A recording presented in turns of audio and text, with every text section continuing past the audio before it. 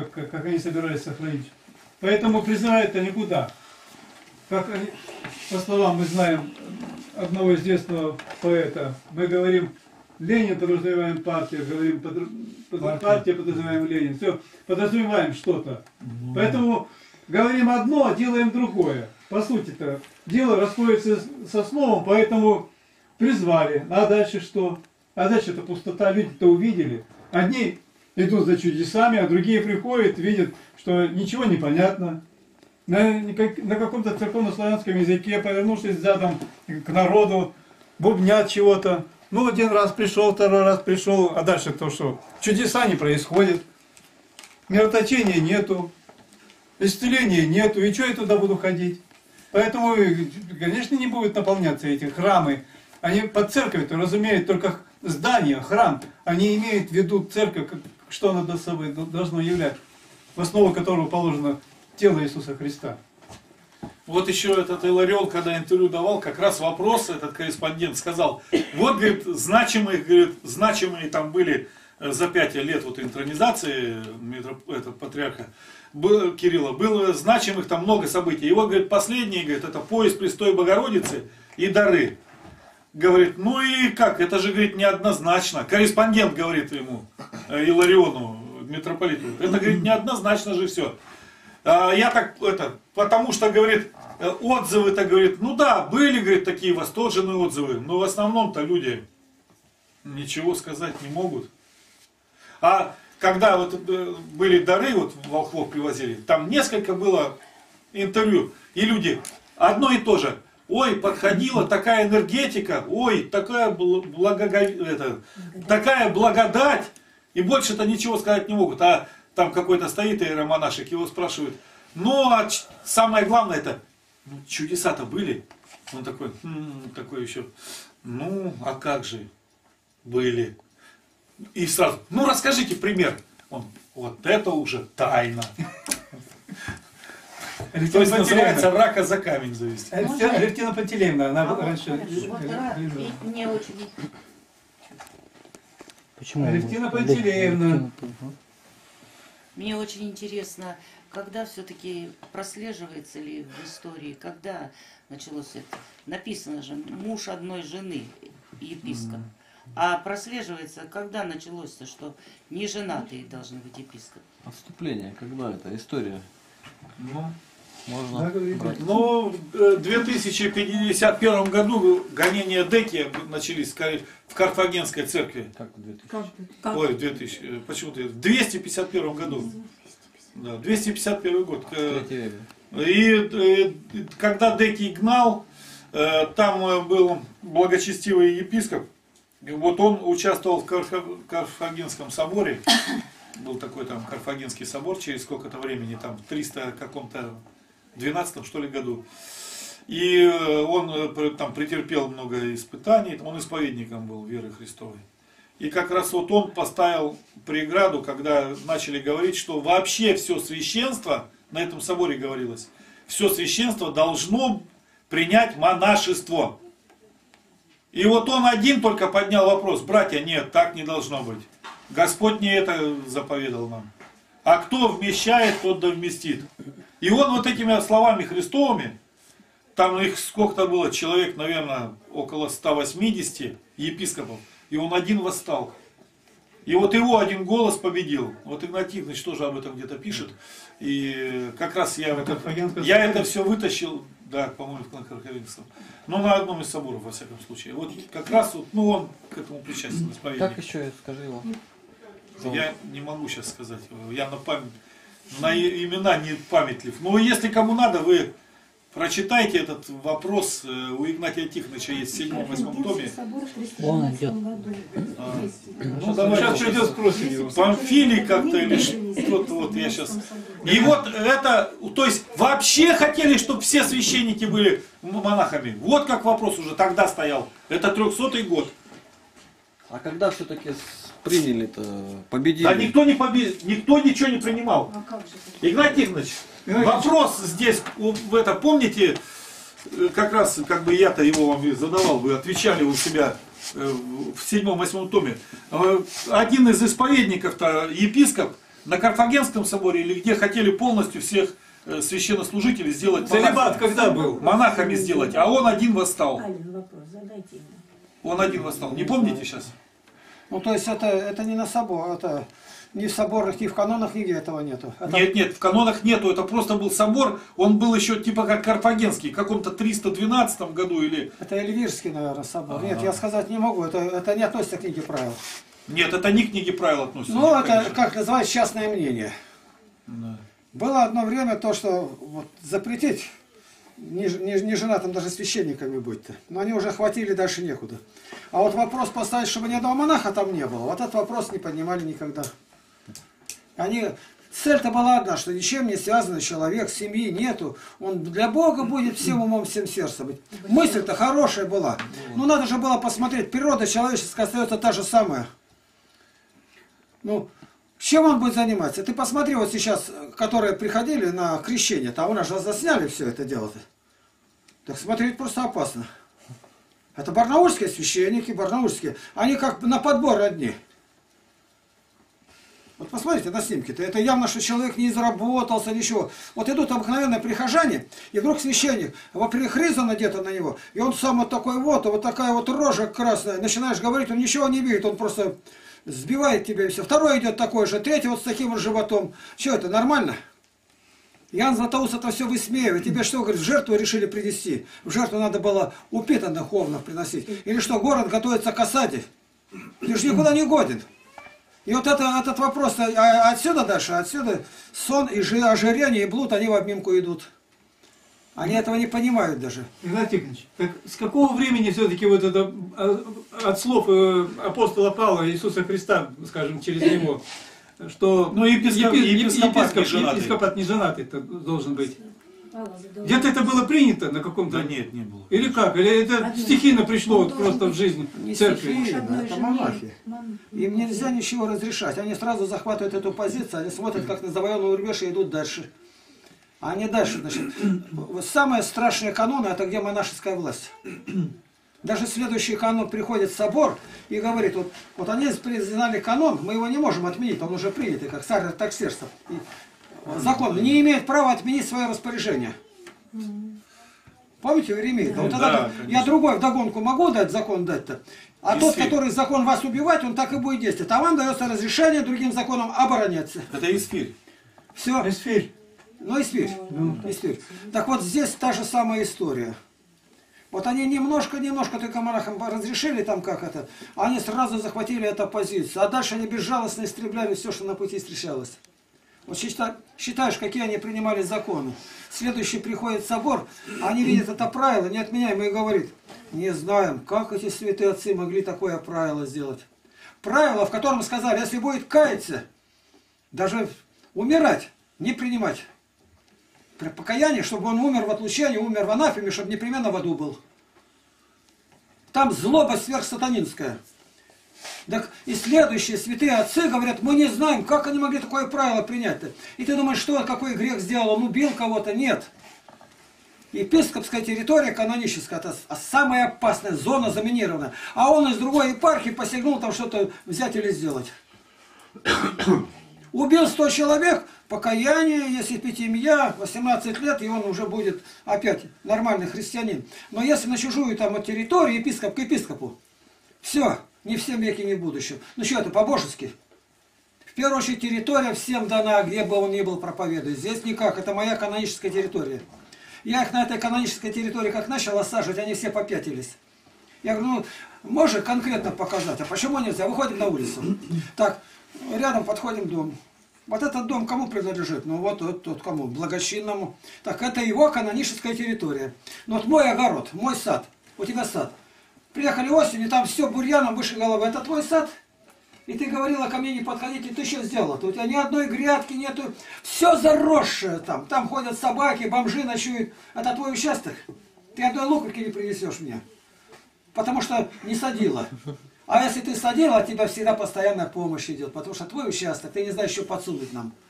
Вот конкретно, я говорю, вот в этот дом теперь заходи. Первый этаж проходим. Сколько квартир? Сколько подъездов?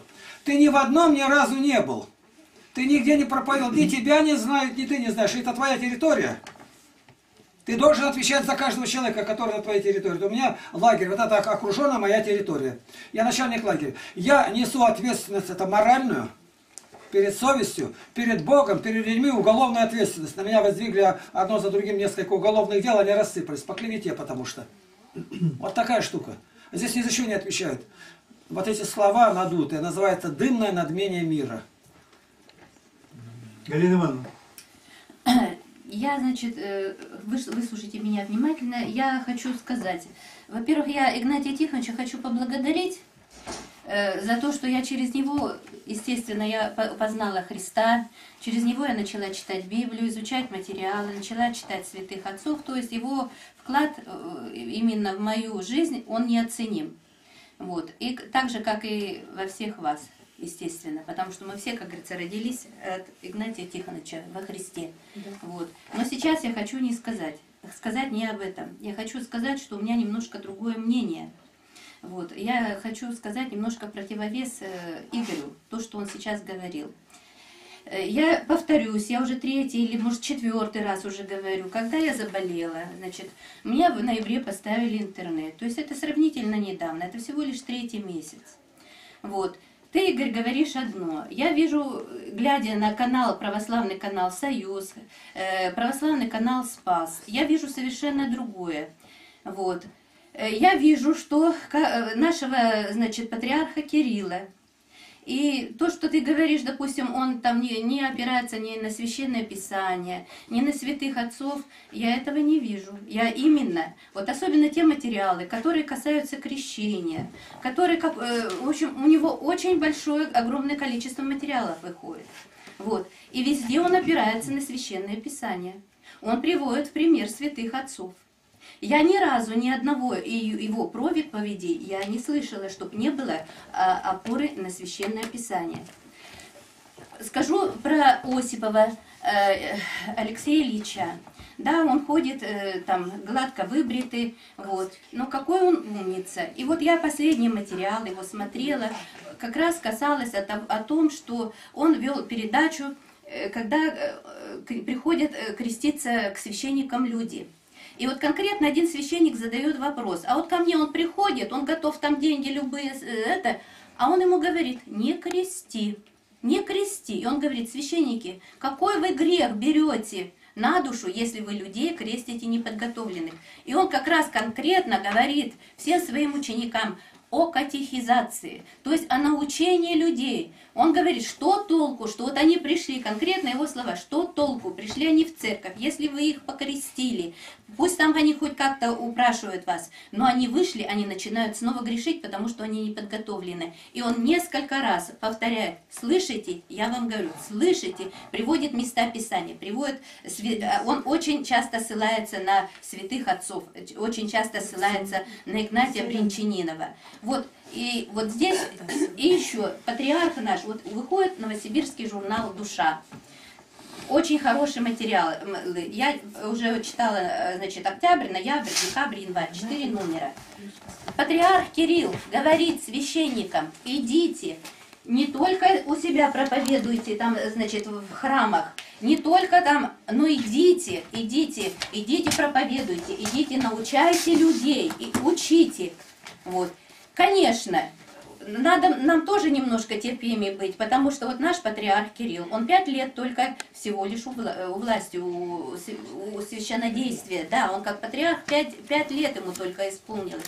Он пришел на такие развалины, было порушено более 1300 храмов, я могу ошибиться в цифре, но огромное количество храмов было порушено. А людям куда идут? Люди-то все нас советская власть выхолостила из всех, не только, вот я сама была, у меня отец коммунист, мама неверующая, вокруг никого неверующих, но для этого тоже нужно людей учить, чтобы люди познали Христа. Поэтому огромное, огромное работа лежит и на патриархе, и на священниках. И я молюсь всегда, каждый день я молюсь за нашего патриарха Кирилла. За на... Вот митрополит сейчас э, Павел э, это, на Украине. Сколько у нас молодых священников сейчас подготовленных. И, этот, э, Алексей Ильич Осипов готовит священников. Какие сейчас пришли умные, молодые, грамотные священники. Но тоже надо понять, что они пришли на какую почву. Люди-то все неверующие, тем более развращенные нашим современным вот этим обществом. Вот. И я не знаю, я, я считаю, что огромную подмогу, вот огромная просветительная работа идет через канал Союз Православный. Сколько там материалов? Там идет э, и по Бринчанинову разъясняются материалы, и по, значит, и по Священному Писанию.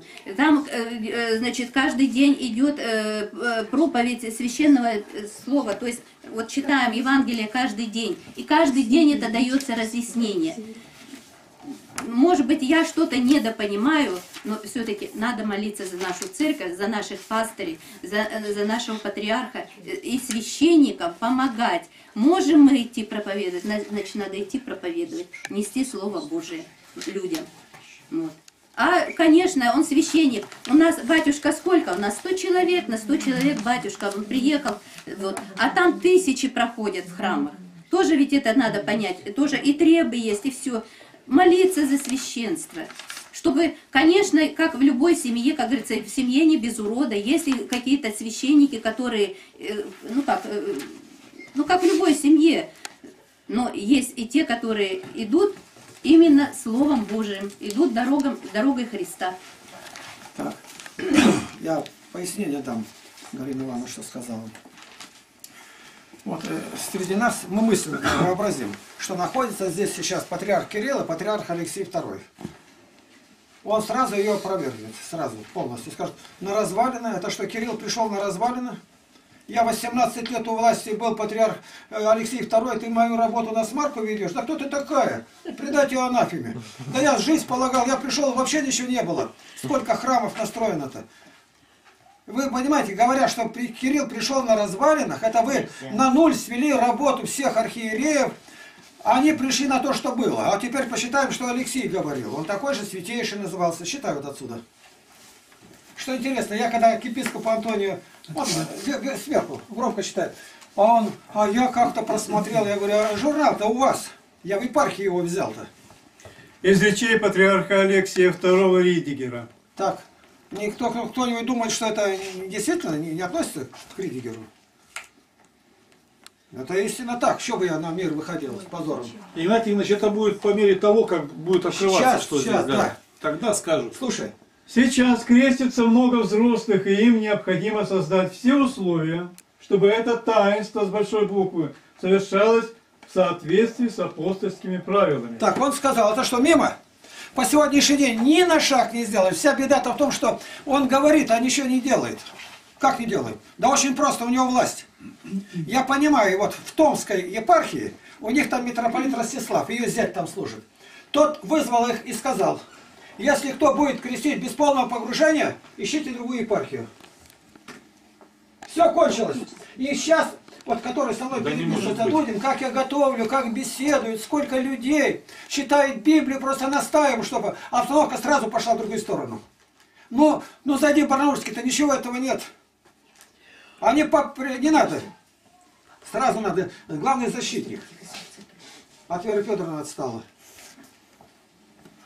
Представь себе, по телевизору показывают, значит, говорить не буду, вот от переламывает руку, а то, значит, внутри все клокочет, я хочу возразить. Это тут переводить надо. Вот так он держит, стоит, говорит священник, говорит правильно. Крещение, это когда человек с троекратным погружением в воду погружается. -то. Держит ребенка, вот это ноги у ребенка торчат из подмышки, и вот так вот берет, и трижды его погружаем. Так это уже он не за дураков считает, он считает все манкурты. Слово погружает, ты не знаешь, что такое погружает? В воду. Кирилл Иерусалимский говорит, скрываясь в воде, мы погребаемся. Но это же даже, даже мошенником нельзя назвать, это же жуликом нельзя назвать. Он говорит и делает наоборот. Говорит, прям тут же ребенка держит и говорит наоборот. Взрослый подходит, он наклонил так и трижды погружаем. Он на полу погружается куда-то в кафель. Так нам еще этого достаточно. А они так стараются. Если они стараются, это, наверное, надо дальше читать. Слушай дальше. Читай. Это говорит патриарх, который ничем не ниже был этого патриарха, тоже святейший. Чтобы это таинство совершалось в соответствии с апостольскими правилами, запятая, через полное погружение. Ну Точка. что, не дошел этот приказ до Барнаула? Так это сказано, это было еще лет 15 назад. Что-нибудь изменилось? Ни, ничуть. Ты спросил, сейчас по порядку, ну, по все, которые районные центры, где церкви стоят, где погружают? Как полное? Строят купели. Я видел, купели, строят. А приходит в тазике крестит. А зачем? Ну это воды много надо, да и, и мы говорим, если такое или такое. Но если оно равнозначно, зачем человек будет воду раздеваться там и маникюр смывать себя? Зачем? Если бы они провозгласили, что всякое под именем крещения, без погружения это не крещение, как у старобрядцев, все кончилось бы в один день. Он говорит, и эти слова не выполняет, и он стоит и ничего не может сделать. Так зачем ты тогда нужен-то? Ты возьми, патриарх, отдельный храм Христа Спасителя, и чтобы здесь была катехизация, так он должен там всю Россию брать. Он ответственен за все нашего господина. Это господина, значит, вы его кто господина? Рабы, обязаны слушаться господина. А он говорит, что из 100 священников только 98 не слушаются. Это какой процент? Да, я думаю, два-то он назвал просто так. Там, может быть, одного нету. Вы ошиблись, не 15, а 20 лет, 93 год.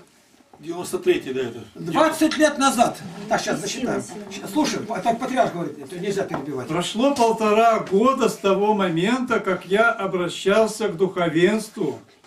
Но, к сожалению, положение не изменяется к лучшему. Слава, остановись.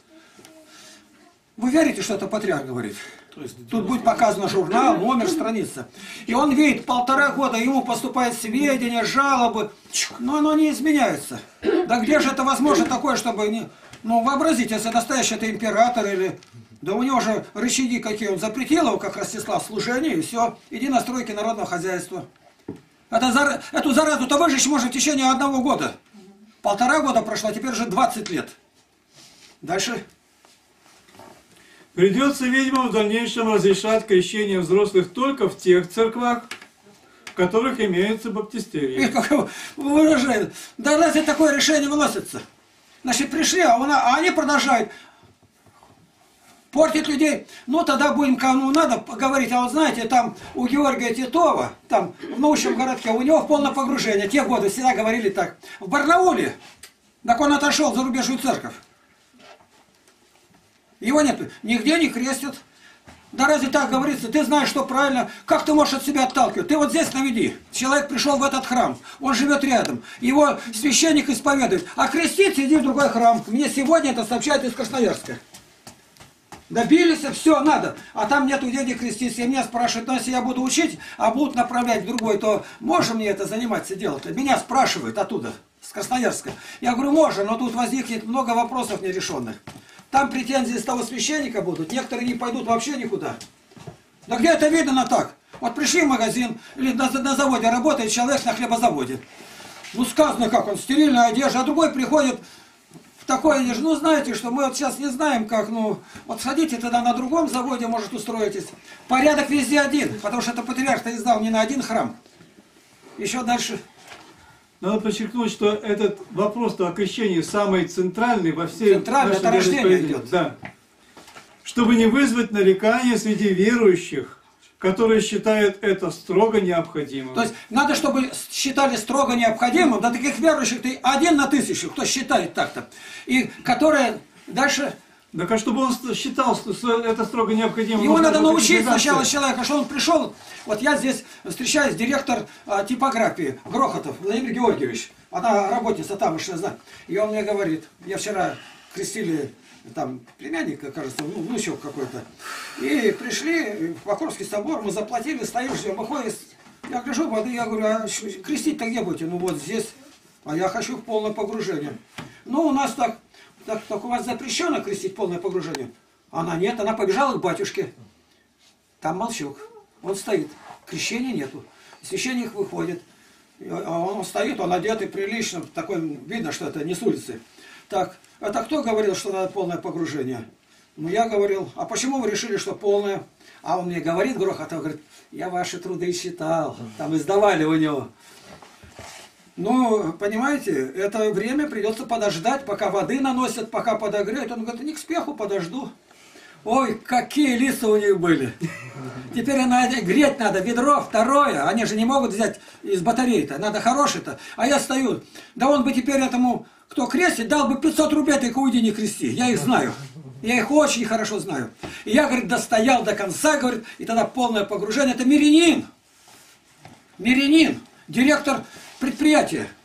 Да если бы везде распустили, вот так, чтобы говорили другим, то эта обстановка изменилась бы. Они просто а, а, объяли Попову, не отпущу, батюшка, пока не покрестишь, как положено. А патриарх не знает, что говорит. Это, это один обман. Я расскажу. У меня зять, муж сестры, Володя Устинов. И он электровоз, машинист. И вот авария случилась в Днепропетровске. Тогда был Советский Союз. Еще где-то здесь, в Владивостоке. По всей стране идут совещания, разбор этой аварии. По всей стране, во всех депо, везде, говорит, замучили. Ну, это же страна громадная, не крайне. Аварии-то случаются. И заново сдавать экзамены. Мне, говорит, отдохнуть некогда. Я заново учу, на экзамен там еще сдал. Да... А здесь все, а там новое правило, говорит. Ну, а нужно это? Нужно. Здесь сплошь и рядом. Из ста церквей только в одной, и то на выбор. Еще нормальная обстановка. Когда если в одной, вот как Ростислав сказал, узнаю, хоть один крестит неполное погружение, мы расстанемся с ним. А он должен был сказать, не расстанемся. Я сейчас созываю епископа и снимаем сан. Сан, шесть епископов надо собраться. Да они бы попы тут воды лили, говорит, через край лилось бы. Он ничего не может делать, это его кормушка. Это патриарх жалоба, это жалоба патриарха. Он один, он одинокий, он стонет. Его уже допекли эти письма поступают, сведения. Какие сведения-то? Они не высчитывают. Самое сакраментальное, там никакого крещения нету. Вещи упускают. Читаем. Также многие, дальше через запятую, 98% священнослужителей словно и не слышали нашего предупреждения. Значит, это епархиальное собрание в Москве было, и 98% не слышат. Да какой, какая это армия это? Ну вообще, я утром э, написано, этого не может быть, как это можно сделать? Думаю, что там такое? Я вижу, там стоят военные. И я щикнул и показывает, там какая-то площадь в этом в Лондоне, и они, как они муштруются, и как они идут строем, потом разворачиваются, какие фигуры делают, бросает винтовку, вот так крутит там автомат. Там ужас смотреть, я, как одновременно в воздух пустыми выстрелят. Вот как можно вымуштровать. И тут покажем китайских красавиц. Идет военный парад, и женщины, девушки идут. Как они маршируют, как они одеты. Понимаешь, вот как будто это один, как в гитлерской армии было. Ну здесь же нет ничего, они жируют и все. Мы с Антонием беседовали здесь, в кабинете, с нашим епископом. Я, говорит, их посылаю. Я уже, я говорю, я читал ваше указание. Три раза уже решение было только в полной, и не, он даже ни с места не сдвигается. Почему? Они знают, он ничего не сделает. Да какой же ты военачальник? Господина нашего, вы говорите, это ваш господин? Господин, значит, ты раб у него, ты обязан слушаться. Я говорю, Господи Иисусе, я раб его, помяни меня раба твоего. Я его господином не могу назвать патриарха, но я делаю как Господь велит, мой господин. 98. Откуда он взял эту статистику? Тихон Шевкунов ему дал патриарха завалили жалобами. Вот сейчас выходит Чаплин, это надо проверять, когда она жалуется на священника, вот этот грех гомосексуализма, да это нет, да это только придумает. И тут же выступление Тихона Шевкунова, архимандрита, который исповедует Путину. Вот святые, не святые книга вышла. Он говорит, я доложил патриарху Алексею, вот такая ситуация, и сказал, владыка, проверил, и все, говорит, так и есть, надо меры принимать. Ведь передали в уголовное дело, посадили, и палится сидит поп. Вот это я понимаю решительно. Потом я, говорит, еще иду. Щаплин говорит, нету. А Шевкунов тоже говорит, все это было. Так, а Андрей Кураев говорит, это один из ста, которые этим занимаются, захватили только. Этот грех такой, а как его сделать? Я говорю, только так, заметили в грехе, стрелять шприцом, как белых медведей, чтобы он сразу уснул. И со спущенными штанами вести на анализ. А больше никак. Если берет взятку, там, деньги мечен, а тут как его мечить-то? Его метить только надо Потому что разлито, больше никак не докажешь. -то. Ну, а читаем дальше. Слушай, патриарх говорит, внимание. Прекрасно сказано. Ну я конкретно говорю, что можно сделать? Да, доказать этот грех как можно? Только так. Мгновенно его усыплять, эту картину в совокупности вести туда, анализировать, фотографировать, а дальше уже разлеплять. Больше ничего не остается делать. А то не пойман, не вор, не пойман. Так, Надя, мы договорились, Поймут. чтобы нигде даже язык не высовывала. Тебя крепко бес мучает. Прежде должна быть катехизация, что она должна совершаться благоговейно и неспешно. Так, это он кому говорит? Это говорит священникам, что должна быть катехизация. Они не знают, академию кончили. И что она должна быть неспешна. Я стою в крестилке, смотрю 25 человек к крещению. Кто что кричит, никто ничего не знает. Единственное научение, вот которое воду должна приносить, а, там уборщица-то, она подходит к людям, маленько говорит, не так креститься надо, не вот так вот, а вот так вот показывает. Это все научение. Вот он заходит, отец Борис Бузмаков. Так, все заплатили. Все, все, арнепичишки кричат. Ну, его долго не было. Я стою, смотрю. Вот он начинает, каждый подходит, он ладошкой раз. Теперь мазать, мажет, отвернулся, он не глядит, мажет ей кофточку. Помазание. Я в ужас пришел.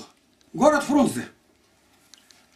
Когда все кончилось, я подошел, я говорю, батюшка, я хотел поговорить с вами. Что, опоздал маленько?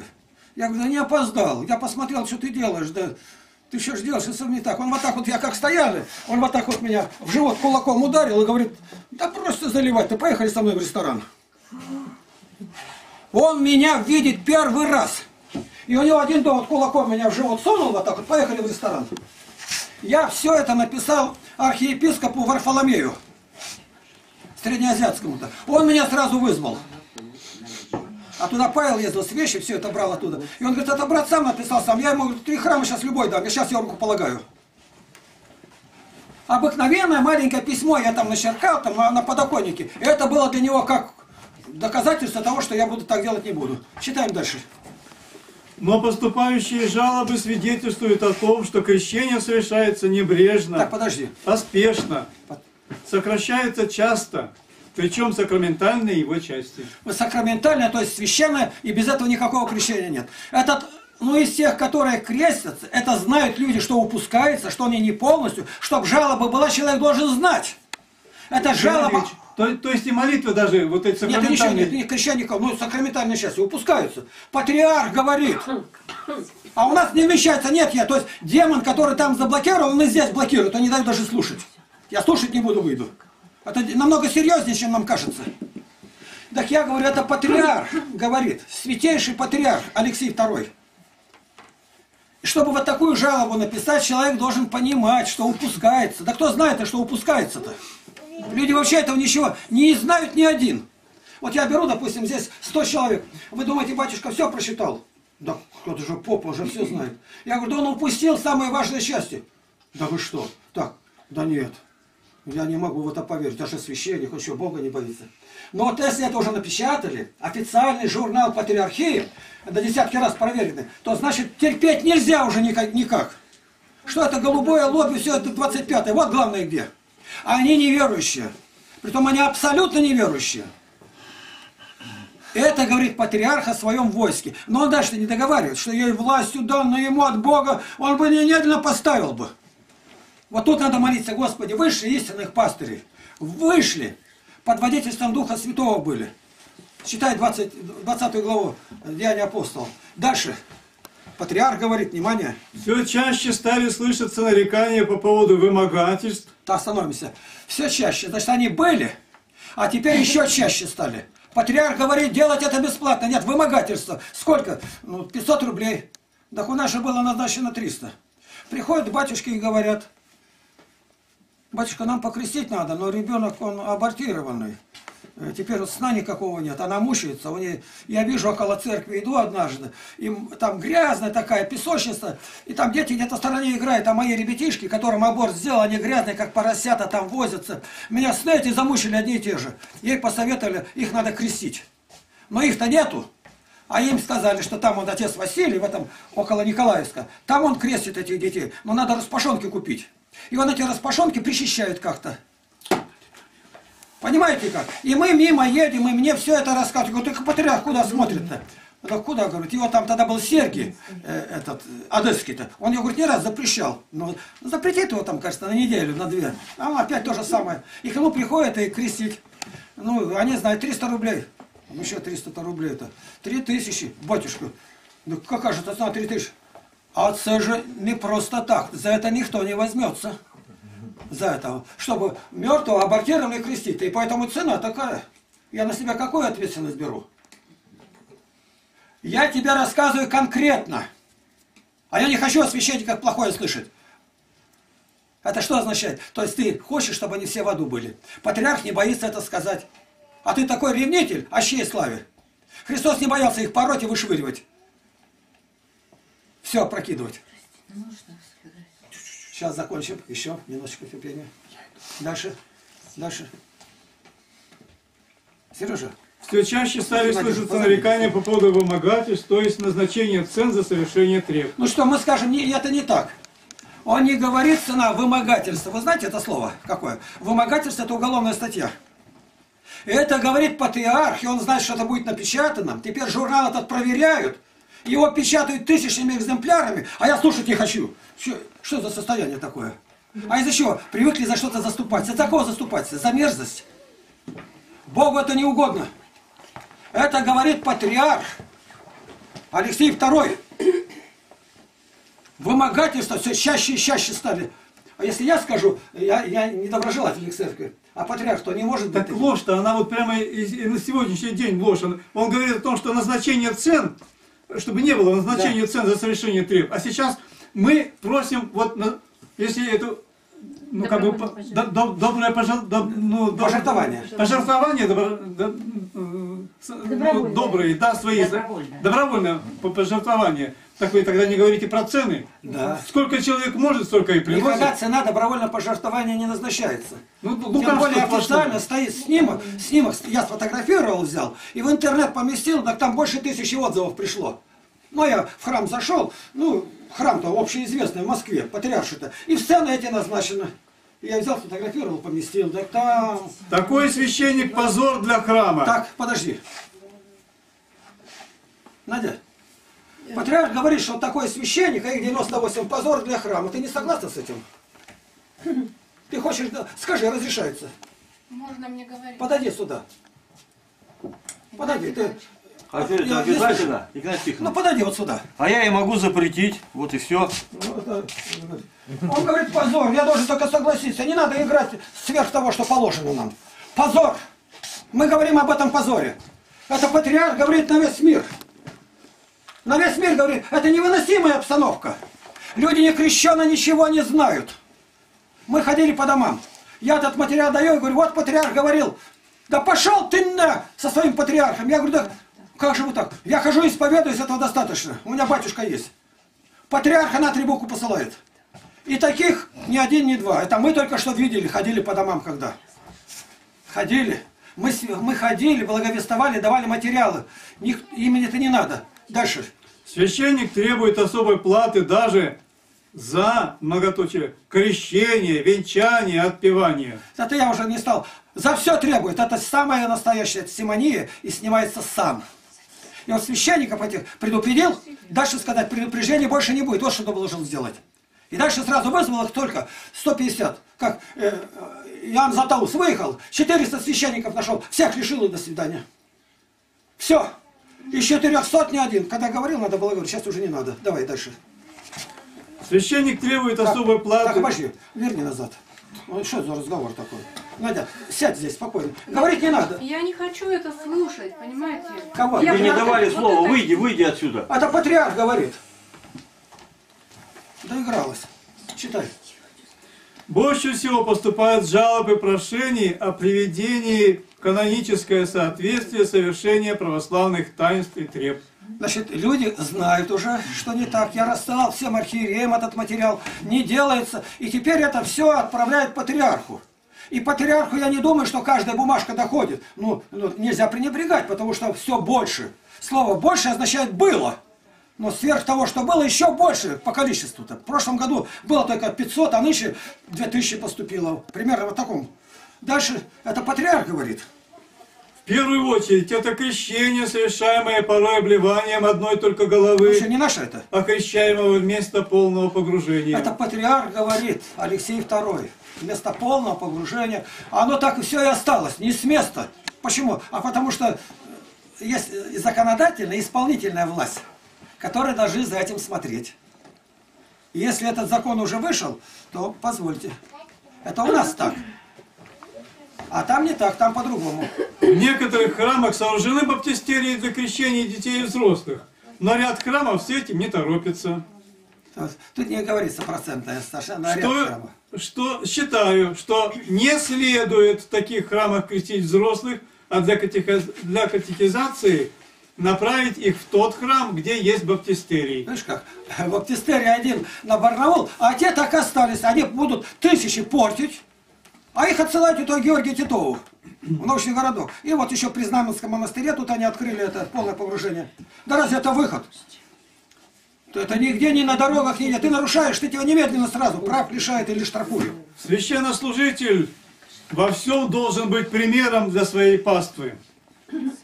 Я уверен, что пришел в церковь не ради многоточия впереди. Дальше. Я уверен, что э, я уверен, кто пришел в церковь не ради прибытка, а ради служения Богу, То останется. есть э, ради прибытка, зачем вот говорилось, ради прибытка это сплошь и рядом. А вот есть такие, которые настоящие священники. Есть. Тот останется, а остальные они уйдут. И далее Многих же мы потеряли, как уже теряем и сейчас. потеряли, из-за чего? Из-за небрежения проклятого. Иоанн Златоуст говорит, одна душа, одна единственная, по твоей вине погибнет священник. Всей жизни не хватит рассчитаться за одну овцу. А их миллионы гибнет. Официальная хроника Московской Патриархии номер 2, 1993 год, страница 18, номер 1.3, 94 год, страница 34 и 38 из речи на Московском епархиальном собрании. Видите, какая точность. Меня только Антоний, епископ облудился, как так газета это мимо меня прошла, я не видел. Так я у вас, говорю, брал. Я этот журнал купил в Московском, я купил здесь в Покровском соборе этот журнал. Это официоз прямо патриарха, не епархиальный, а непосредственно патриархии.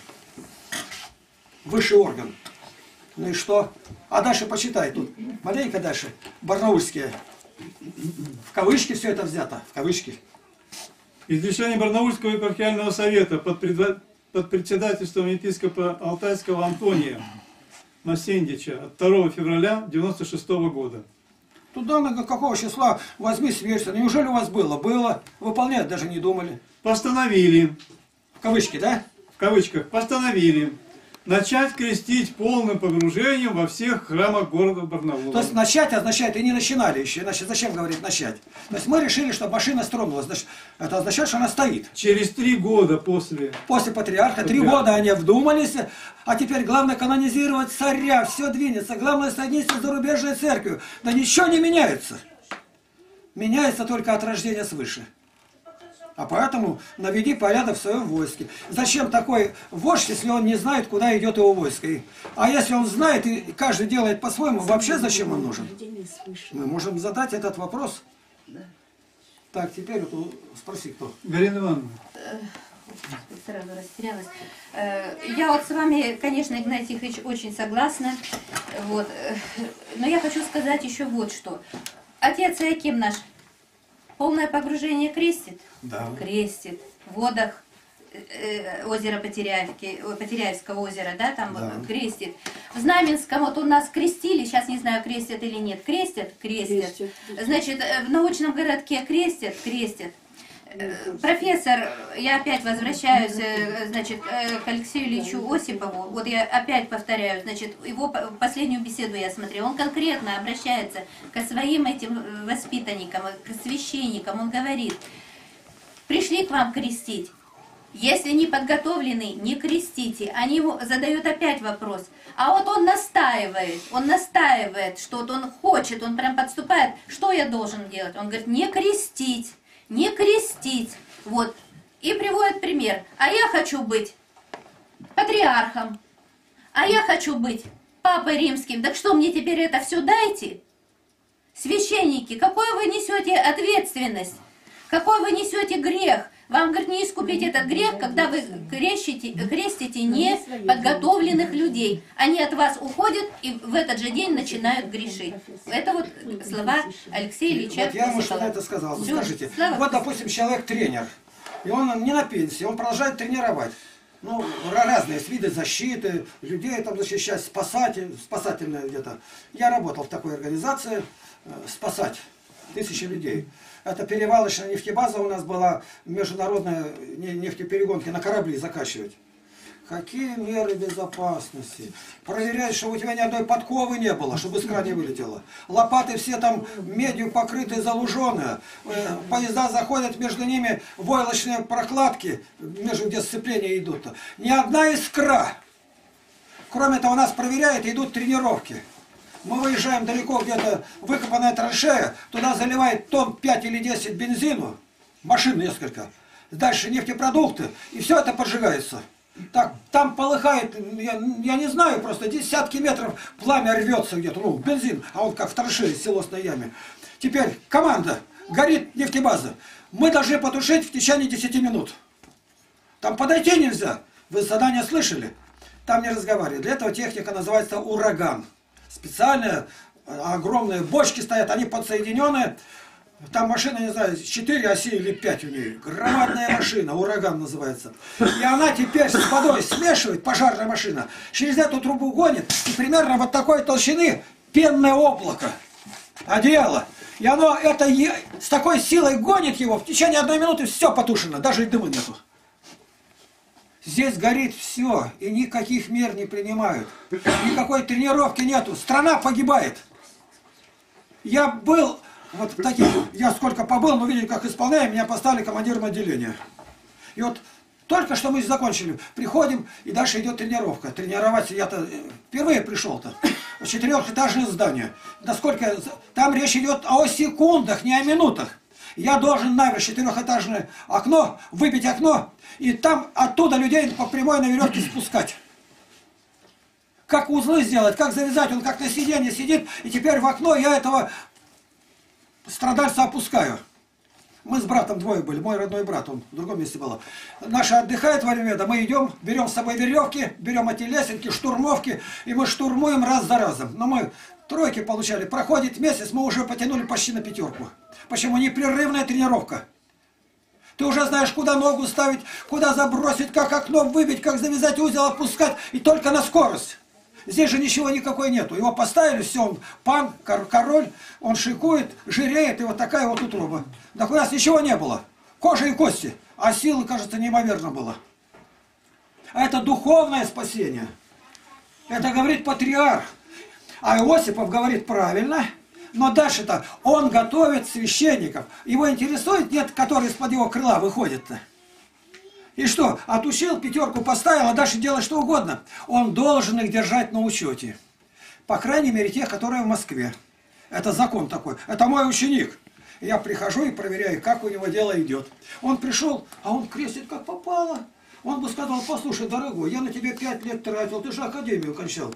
Ты почему так делаешь? Я ответственен за своих учеников. Я профессор, я иду к патриарху, я докладную записку пишу. Это без... Пошел втором, третий, десять храмов посетил. Все они отдают на пятерку, а на практике на двойку.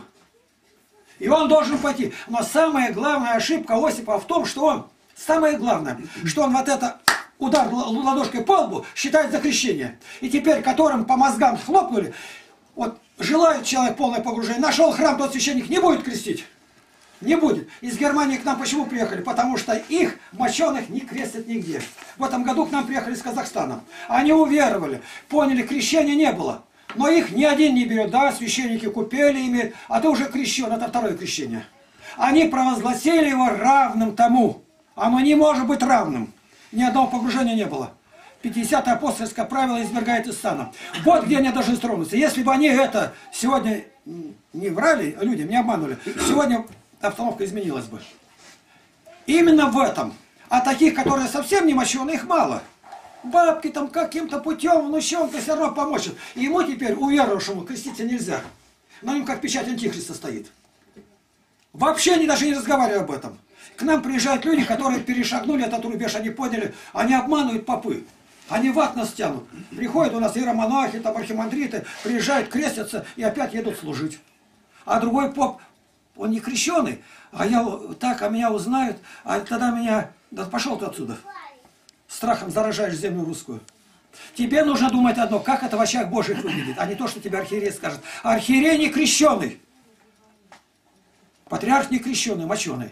Вот отсюда надо начинать. А дальше в книжке я об этом пишу. И надо начинать сначала. Не бояться перестройки. И вы увидите, что с человеческим лицом показанный социализм оказался чудовищем, и он тоже рухнул. Если бы сегодня стали так делать, от патриархии осколков бы не осталось. А они вот это гнилье баюкают и защищают. И главные виновники это как Осипов. Это главные виновники. Почему? Вот у меня хороший знакомый человек. Он здесь прямо, в Барнауле. Человек, который у баптистов был. Он знает все, Писание, все знает. Но жил как хотел, женился сколько хотел раз. Курил все время, пил, матерился, бражничал, блудил. А теперь к православной вере. Он у нас был, заходил здесь. Мне это не подходит. Потеряевку решил приехать. Привез 3,5, кажется, миллиона рублей. Решил гостиницу построить. Я говорю, а ты спросил, тебя примут? Нет. Ты же куришь. А я брошу. Сначала брось. Хотя бы три года пройдет, тогда приедешь. Как он разобиделся. Наши продают здесь книги, он нашел. Он подошел, как их начал матюгать тебя. Его. Представь, Вас, а? причем и я. А? Вас начал матюгать. Ну, матюгать-то в твоих глазах. Ну как? Меня-то там не было. -то. А я как? Из-за чего он меня? А это человек хороший. Он нам помогал, когда в Москву к нему приезжали. Но теперь у него главный кумир Осипов. А почему? Бреюсь, и он бреется, это говорит, никакой не играет роли. Галстук, он говорит, галстук. Пост, ну это как можешь. То есть он себя, отступник, нашел полностью все, что говорит Осипов. И он не нашел этого ни в Олеге Стеняеве, он не нашел это в Антоне Блюме, он ни в ком не нашел это, он нашел только в одном. Для веры отступников, без изменения их сущности, только Осипов учитель может быть. И это я говорю не за вчерашний день, за сегодняшнее утро. Это человек прямо здесь мне перезвонил. И для него никаких законов, что Библия говорит, канона, главное Осипов. Теперь у него Осипов на первом месте. А я знаю, беззаконник не будет защищать беззаконника-то. Да. Вот и все. Алла так говорю. Вот она знает о ком, и все. Вот она сидит улыбается. Вот и все. Так что с Осипом я по телефону говорил, посылал ему материалы. Он все признал, их надо печатать было, когда они были разрозненные. Я с ним говорил. Это человек, который до конца не доводит. Он знает, что вот это не так. Почему он прямо не пойдет патриарху? Сказать, из моих выпускников, а он уже около 40 лет там преподает-то. Вся Москва это его ученики, и они все обманывают. Владыка, господин, так моя учеба там нулю, нулю равна. Какой я учитель-то, если все ученики на, напротив идут-то? Давай наведем порядок, ты иначе мне не за что платить эти тысячи-то. Мы же обманываем людей. Мне нравится, как поехал один журналист советский, во Вьетнаме был. И у меня, говорит, заболело там что-то, поджелудочное дома болело. Я, говорит, пришел, он, говорит, меня что-то ощупывает, давит. И... Ну, я говорю, сколько будет стоить? Я слышал, вы хороший врач, деньги вытаскивают. Он говорит, нет, у нас так не делается. Я тебя вылечу, вот полгода пройдет, болеть не будет, тогда деньги заплатишь. А как так? Я делал горшок, ты принес домой, он развалился, ты будешь деньги платить? Нет. Вот так. У нас это природное. У меня, говорит, сноха вот так по руке себя, говорит, там, кажется, с 4-5 месячный, говорит, беременность, она сама себя определяет, мальчик или девочка. И это невероятная вещь, так мне кажется, не может даже быть. А то он говорит, это, ну, это другая медицина, это там таиландская, все, китайская, японская смешанная.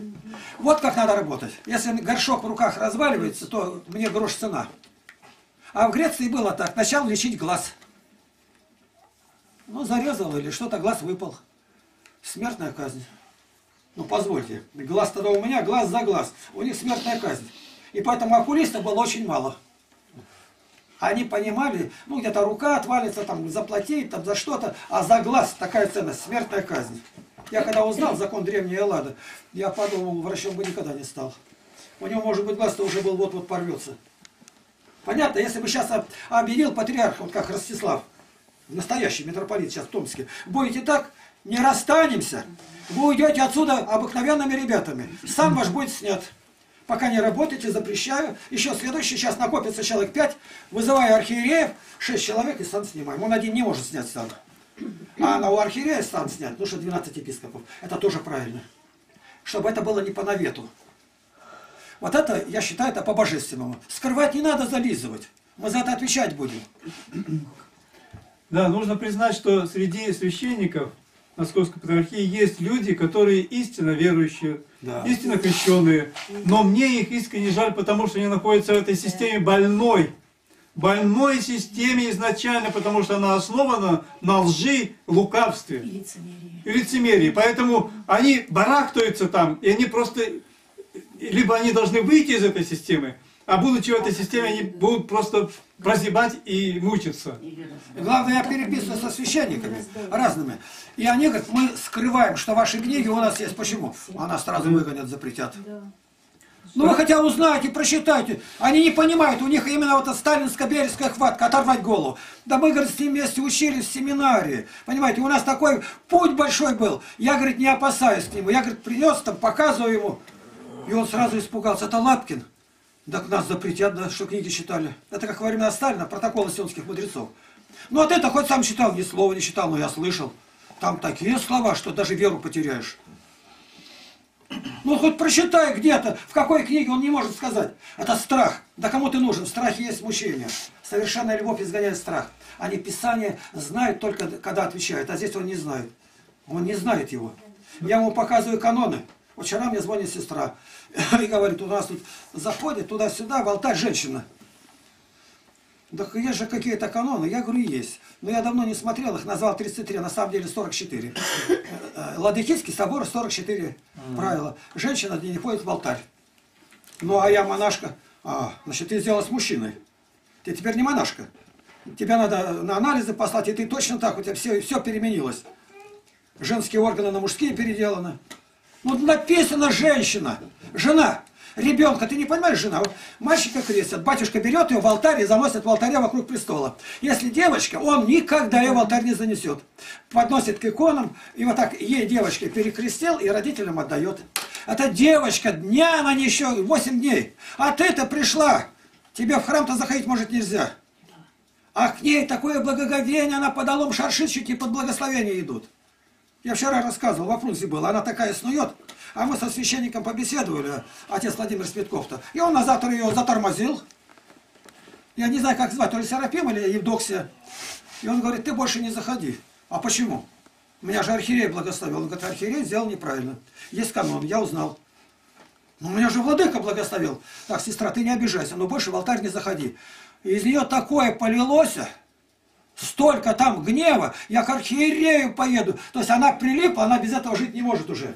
Вот это почтение, она в алтарь заходит. Ей там не надо, она туда-сюда, туда-сюда снует. Главное отношение к ней. Понятно? Я это сам свидетель. Я могу назвать имена, время, когда это было. Брат Игорь, Ну, я хотел сказать, что э, мне бы очень хотелось, чтобы единодушие, единомыслие, о котором говорит апостол Павел, Господь наш говорит, да любите, да любите друг друга, чтобы они на деле были исполнены и в нашей общине.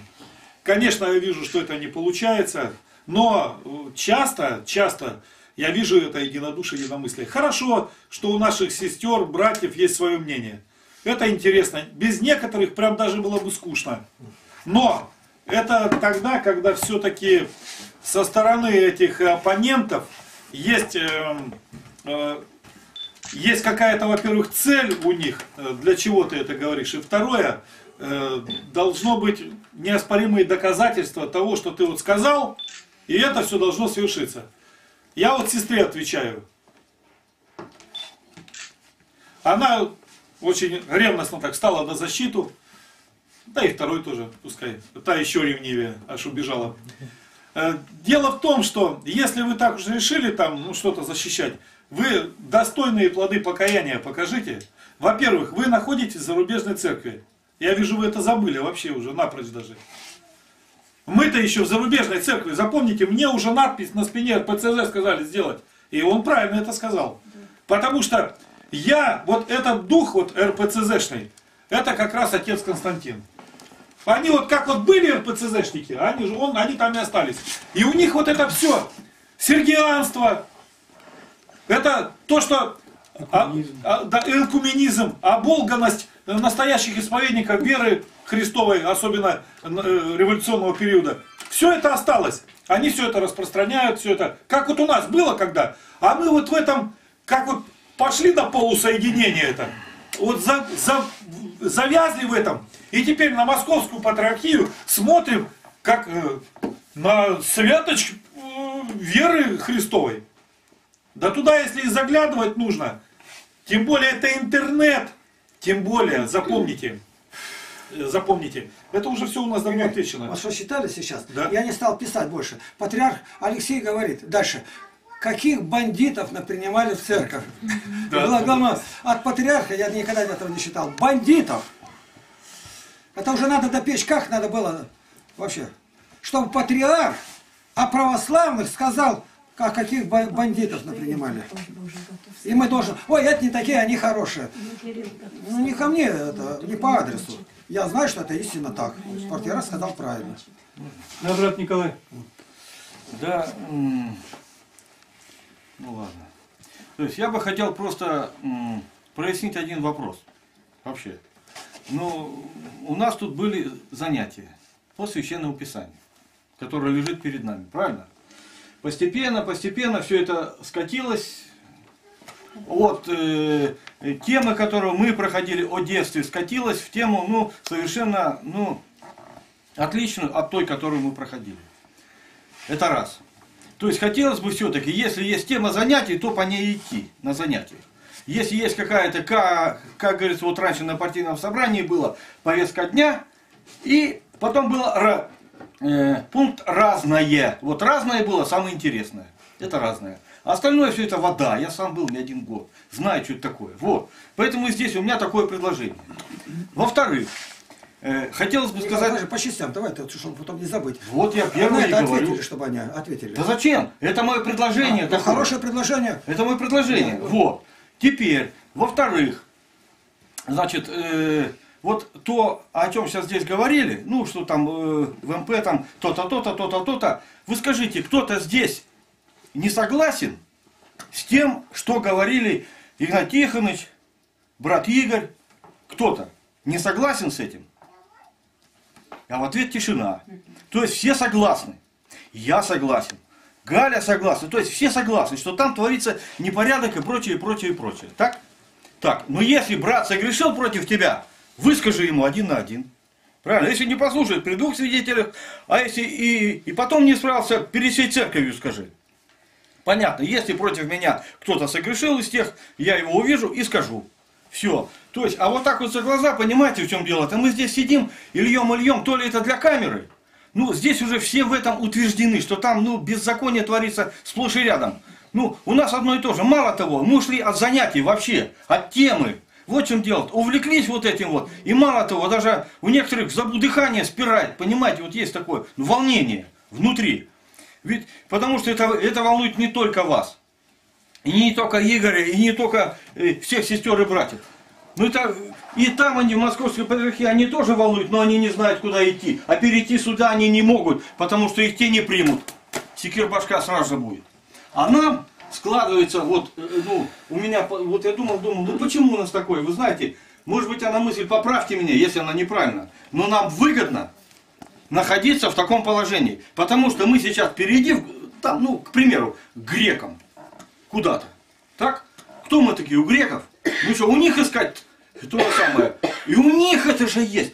Так это бузатеры, их, они куда не придут, они везде одинаковые будут, понимаете? И нам выгодно здесь, здесь находиться, потому что здесь беззаконие. У нас есть, всегда есть тема для разговоров. Вы понимаете, в чем дело? Не о спасительных разговорах моей души, а о спасительных разговорах, ну, якобы спасительных разговорах о том беззаконии, которое нас окружает. Ну да, там голубые, розовые, каких только там нету, это еще до христианской церкви это было. Это было сплошь и рядом.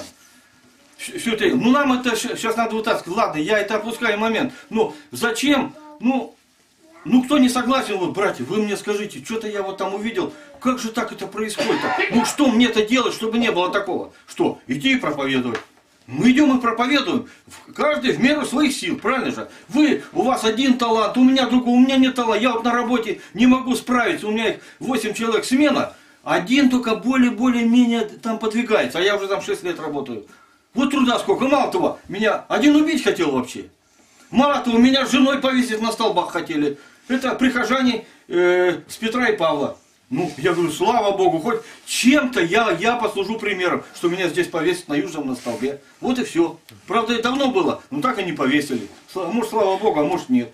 Вот в чем дело-то. И там такие же не все. Ну, может быть, как-то, ну, я не знаю, есть занятия, ну, давайте занятия. Николай, я по- поясню. Можно, Игна- Игнатьевич, можно я скажу? Брат, ты хорошо сказал о том, что мы уклоняемся часто от э, темы наших занятий. Вот прочитали мы стих, мы всего один стих сегодня прочитали и прочитали э, толкование Феофилакта Болгарского на этот стих. И дальше мы пошли в другую сторону.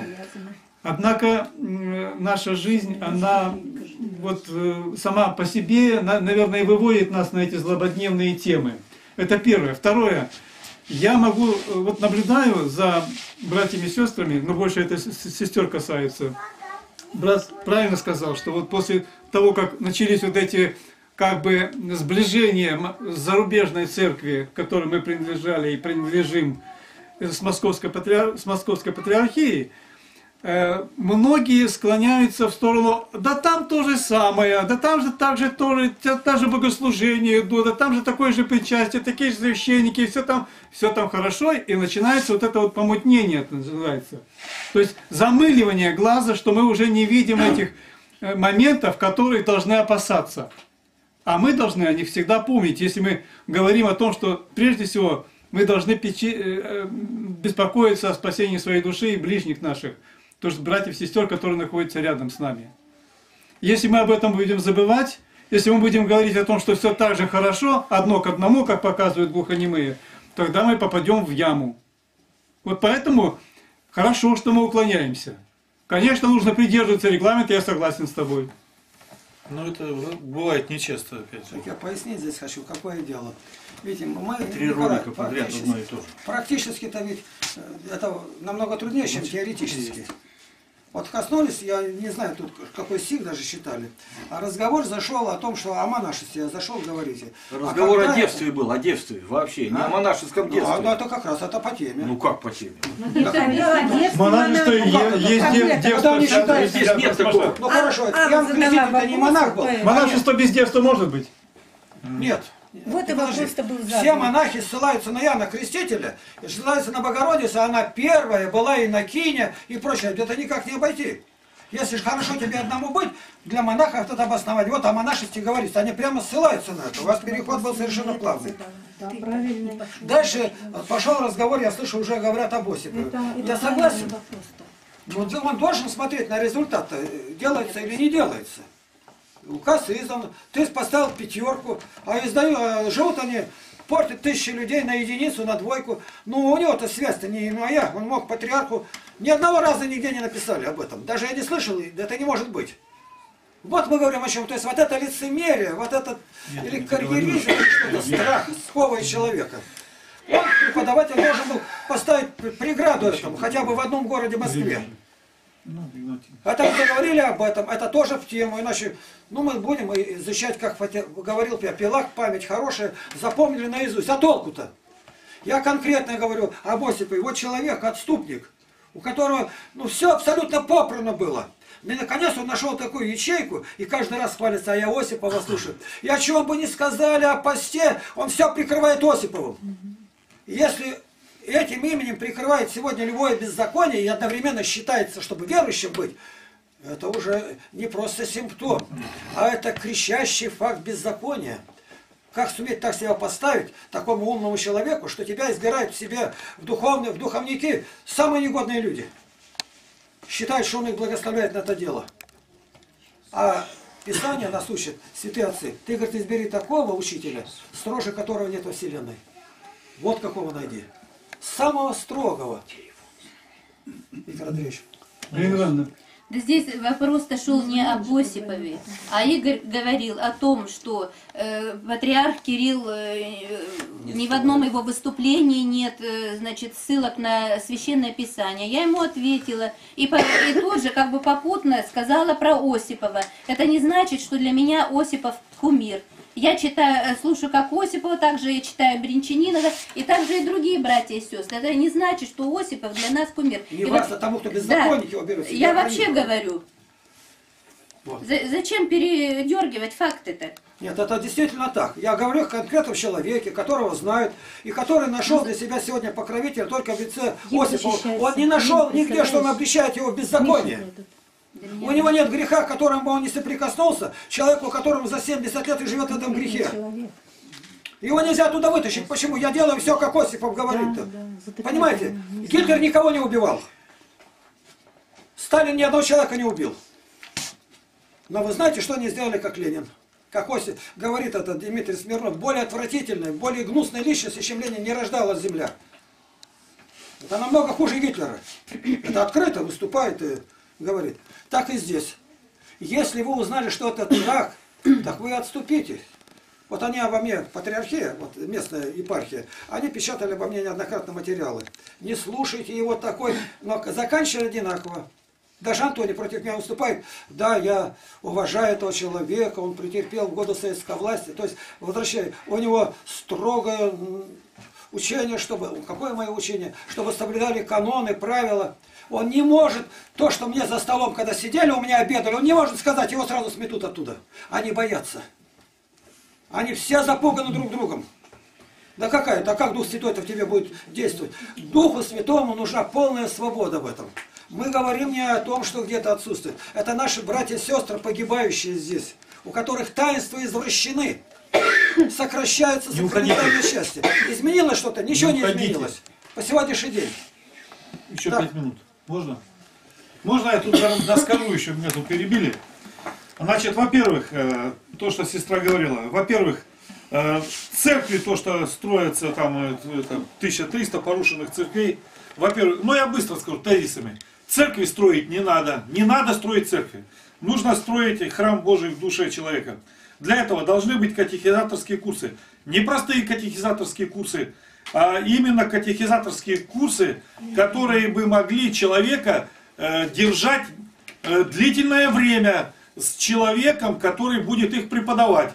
Допустим, ну не 500 часов там, как вот у нас было, 550 часов, ну хотя бы э, полгода или год не менее. Тогда человек себя -то сам узнает. Дальше. Э, э, такому человеку, э, то есть оглашен, оглашенному, нужно быть именно оглашенным. Я имею в виду э, Кирилла Иерусалимского, который оглашал людей, вот, э, вот это, у него есть огласительные беседы. Вот пока не будут выслушаны все эти огласительные беседы, на каком-то, на какой-то из этих бесед человек должен быть именно оглашенным, признан. Как только он будет признан оглашенным, тогда ему можно будет посетить собрание святых, ну то есть богослужение. До этого закрыть богослужение для этих людей, вообще никого не впускать в храм. Должно богослужение быть на нормальном, понятном языке, чтобы человек понимал, где он находится. То есть вот это то, что русский язык и так далее преследуется, это тоже к этому все относится. Вы об этом даже совсем не помянули, и никто из них не помянет. А люди придут опять в храм, даже будучи оглашенные и крещенные, и они придут под церковно-славянское богослужение. И опять ничего не поймут. И опять все то же самое будет. То есть я вам перечисляю такими тезисами коротко, что должно быть. Они этого ничего не перечисляют. И то, что я вам говорю, это сказал еще Игнатий Тихонович в достопамятно том 96 году, в начале, когда я только первый раз его услышал. Он уже это говорил, как нужно делать. А это они никогда не скажут. И самое главное, ни у кого из них вы ни в интернете, ни в личном беседе никогда не увидите ни одной слезы покаяния. У них нет покаяния, им Бог закрыл это. Вот, вот здесь вот слезные железы, они у них высохшие. Он никогда не будет плакать о грехах, которые совершил, или его а, эти э, сопастыри, и он сам. И вы будете их слушать. И третье, самое важное. Вы ну, не заметили, но это очень заметно было, и любой скажет.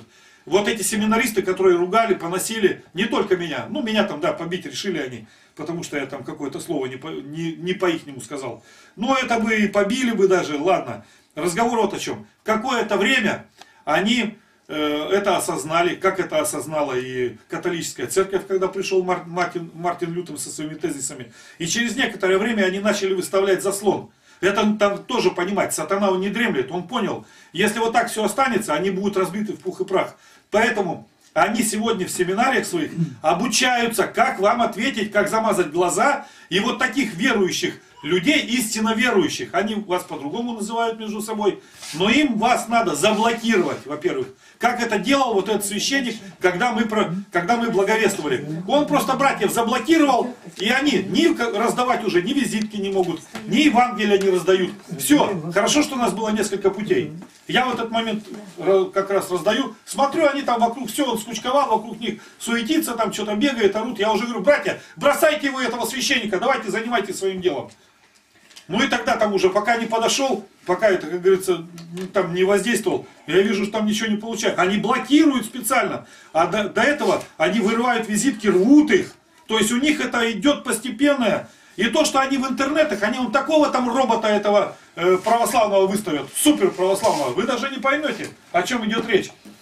И дальше, если вы взяли где-то и что-то говорите о, о том, что они там правильно пишут по священному писанию, вы принесите мне эту проповедь сюда. Или Игнат Тихоновичу. Я вам разложу его вот так вот. По всем статьям. Там ничего не будет. Ничего не останется. Вот, если вам надо подтверждение, возьмите э, какой там э, третий том, четвертый, четвертый том, четвертый том, да, Игнат Тихонович? Вот смотри, подожди, да. Где вот, Кирилла гляди, вот отсюда вопросы посчитай. разбираются? Когда мы были в Клочках, это у нас было 46 человек. Вот посчитай, в это время этот пишет, вот отсюда, вот, считай слух, вот отсюда. Решили, выходит Виктор Андреевич, вот этот человек, и я ему даю газету прочитать речь патриарха. К назначенному времени приехали в спортзал, приходит народ. Это пишет журналист. Полтора десятка человек, половина детишки с любопытными глазами. Среди пришедших оказывается женщина, которая помнит Лапкина еще с тюрьмы. В конце 80-х годов его посадили за то, что на пленке наговаривал жития святых и архипелаг ГУЛАГ. Он был зэк, а она фельдшерица. Такая вот встреча эпоху спустя. Эпоху спустя, как выражается. Дальше. В начале проповеди Лапкин зачитывает из газеты «Труд» интервью нынешнего патриарха Кирилла, Понятно. тогда митрополита. Ну что можно сказать? Я материал какой принес, патриарха Свящ- Кирилла. священник- Им это не надо. В это время они там на улице вызывают ОМОН. Церковники. Староста стоит, матами гонит. И Василий говорит, что ты материшься? Это староста церковный. Дальше. Все? Что написано, читается? Священник должен выйти за ограду храма и пойти на улицу, на вокзал, к людям. Это один, а говорит, Кирилл, Арена нашей битвы. Жестокий и нередко враждебный окружающий мир. а кавычки. Это он говорит. И, а, а Теп- Тепляков говорит, и в это время Тут враждебный мир дает себя знать.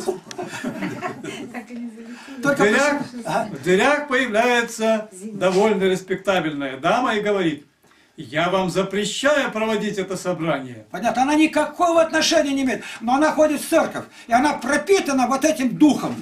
Никого, кроме их на земле, нету. Она сейчас другая. Только они одни. И она что, привлекла кого-то, ей не надо. Здесь никогда в зале не было никого. И дальше... Это выясняется одна из местных прихожанок. Приказным Так, я тоном спрошу, кто это? Зинаида. Ну, вот. Ее А знают, все, и она фотографирована, тут стоит, тут. А староста этот недавно почил.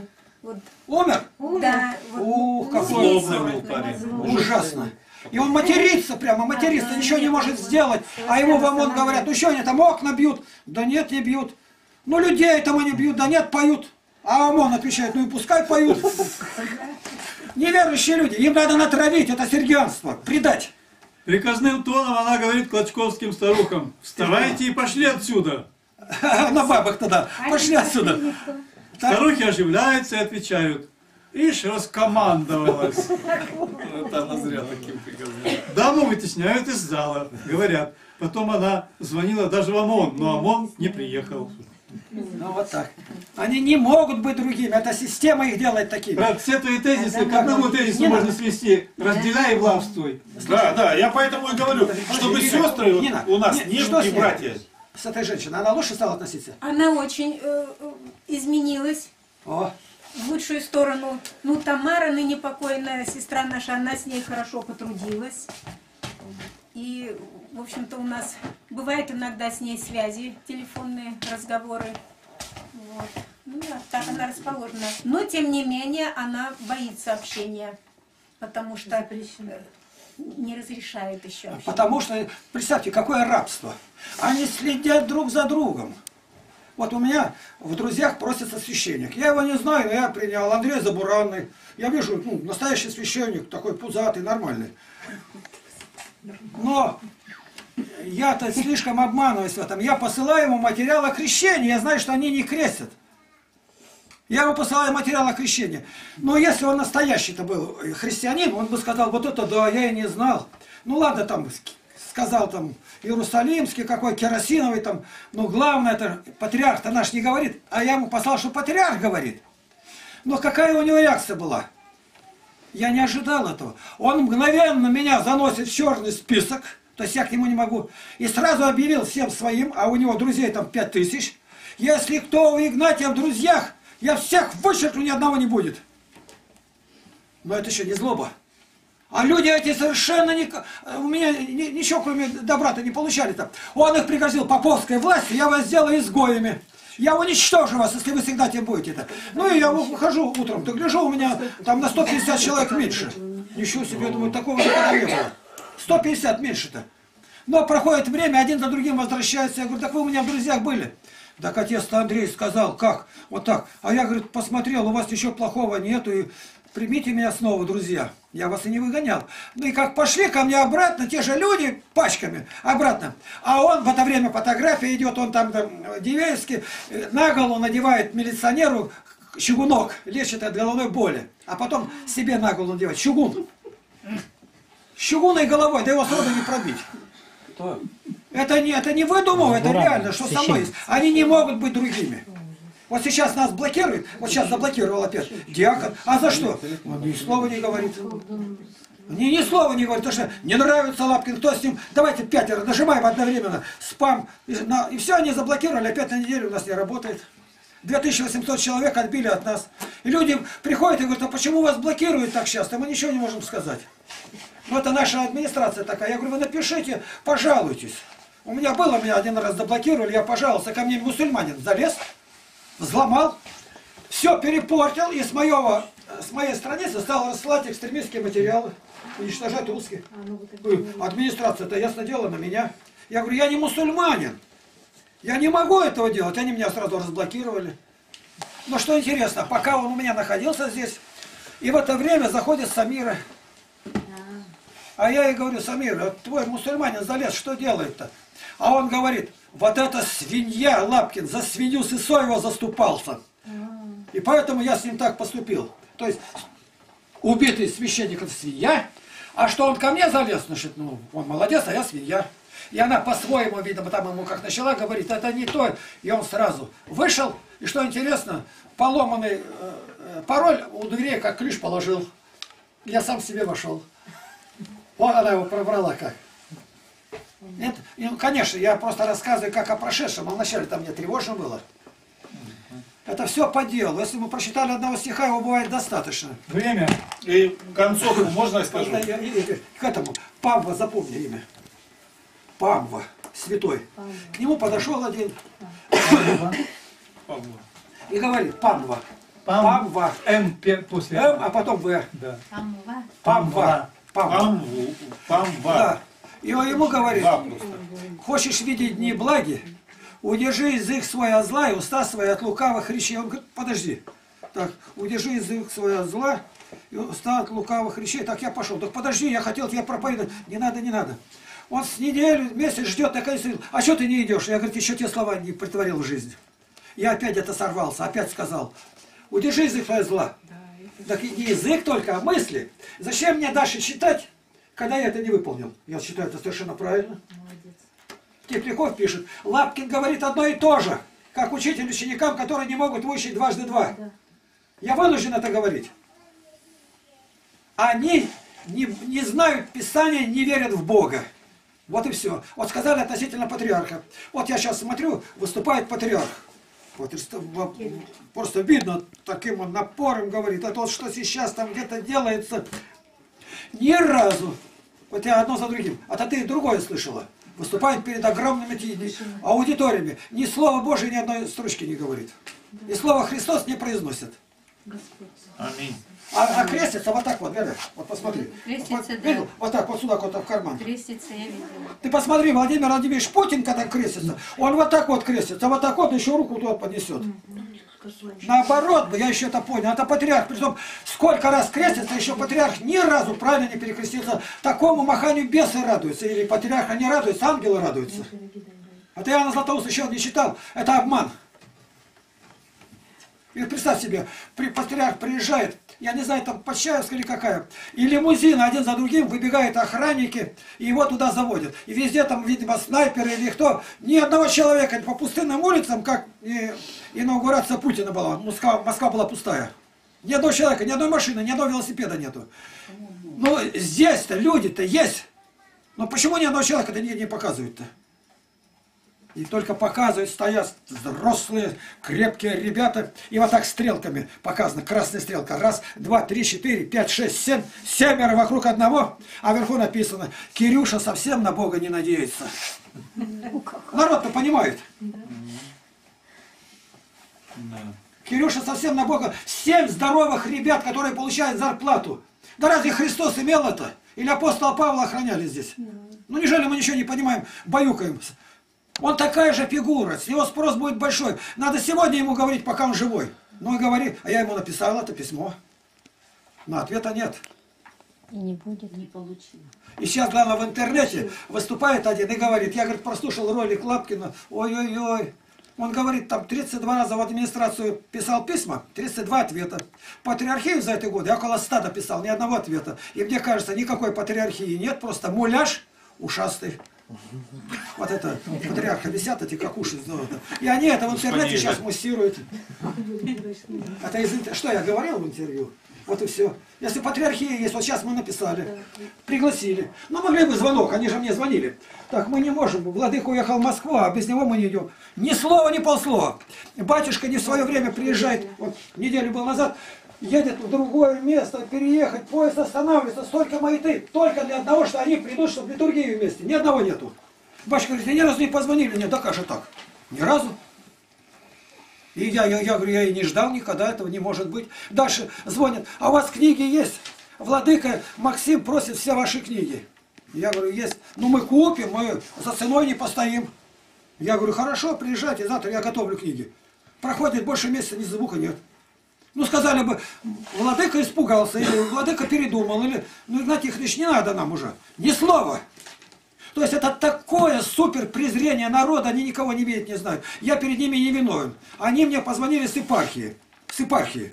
Со мной разговаривает Беляев, отец Сергий, секретарь епархии. Я сказал, приезжайте. Ну, мог бы дать отбой. Договорились встретиться по Теряевке. Батюшка там барашка колет, шашлык готовит. Праздник, к нам едут. Ну, не поехали, хотя бы сказали причину-то. Почему не едете? Это ни слова. Для них это нормальное явление. То есть общечеловеческие чувства у них выморочены, все выморочены, их нету там, выжжены. Так не делают. Я вот приглашал э, этот, ну уж не кто-то, главный банкир края, он поважнее их, Песоцкий-то. Он звонит, я, меня вызвали срочно в Москву, меня не будет здесь, ты ж извини меня. Понятно? Краевая администрация там э, свободно звонят, говорят. Баварин, мэр города, сам приехал сюда, вот в это здание. Здесь ни одного звука никакого нету. Ясно, что мы что-то не то делаем. Я хотел еще концовку сказать. У меня мама вчера позвонила, передает поклон всем. Спасибо. Спасибо. Вот в, в этой деревне Бугачева, где она живет, сменился уже четвертый священник. Сейчас у них новый За какое время? За два года. Опять священник. И ни один из этих священников ни одного занятия не провел. Даже более того, ни один не провел просто беседы с людьми. Всегда куда-то бегут, всем что-то Требы, надо. требы. У всех требы по нескольку сразу каких-то этих э, храмов, не один только их храм. И мама плачет. Э, там все началось с того, что он сразу начал выяснять, кто тут лояльный православию, кто не лояльный, новый священник. А там парнишка, он у них топит 23-летний, а сейчас морозы такие. И он сразу уже к моей маме почему-то прильнул, и уже у него, сестра Валентина, скажите, вот это тот, э, кто нам топит Андрей, он благонадежный или неблагонадежный? Парнишка там этот уголь ворочит. когда нету никого там, такие морозища идут, он все там проверяет. И ни одной копейки еще парню не заплатили. Мама в слезах такая, говорит, я, говорит, не знаю, что думать уже. Я говорю, мам, ты перестань ты так переживать. Она так переживает, потому что она его кормит, этого пацана, получается. Она и туда к отцу Константину ездит в воскресенье, а здесь в субботу и все. И, говорит, решила с матушкой с этого батюшки познакомиться. Она с ней даже разговаривать не стала. Матушка. Прошла, говорит, мимо, и все. Я матушка, она даже не повернулась. Никто им не нужен, ничего. Как, говорит, там будет дальше все, переживает за церковь. Понимаете, тут не Иосифов никто не поможет, должно быть духовное рождение. И тогда она около каждого человека будет останавливаться, с кем бы поговорить. Потому что она помощница священнику матушка. Это пер, самое первое рядом. И мы конкретно можем помочь. Мы показываем, как это сделать. Аминь. Руку поднимаем. Людмила Степановна. А я хочу сказать о том, что высказывание было Путина в пятницу, пятницу или в субботу. Он говорит, что происходит э, на Украине, в Украине. Что происходит? Самое большое, говорит, мне огорчение принесло то, что выступление священника, он вышел, вышел и говорит, я вас поднимаю всех и благословляю, чтобы вы сейчас, все вот кто оппозиция поднялись и шли и вышвыривали тех правителей, против которых выступаете, из их домов. Что вы тут собрались на этой площади? Идите, я вас благословляю, чтобы вы их вышвыривали. Я, Путин говорит, я поражен. Разве может священник, как бунтарь, поднимать людей на бунт? Не священники ли они мир нести должны людям и сказать, и да тем более те, которые подняли, он на их стороне, и такое вышвыривать. Это ли священник? Еще из домов. Из домов, из их квартир, говорит, вышвыривайте их.